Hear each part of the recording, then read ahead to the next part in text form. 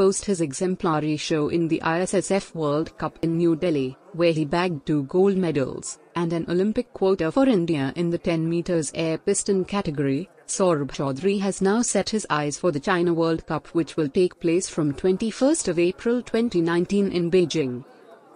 Improve तो ma'am बहुत कुछ करने की कोशिश करेंगे और आगे भी पूरा वो है कॉन्फिडेंस है कि आगे भी बहुत कुछ इम्प्रूव करेंगे हम और ये काफ़ी अच्छा रहा है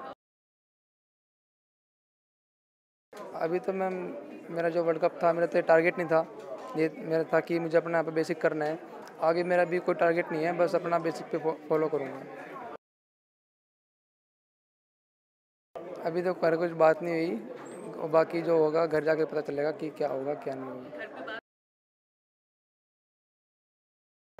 हाँ जी, पूरी तैयारी है उसके लिए, पूरा फोकस है।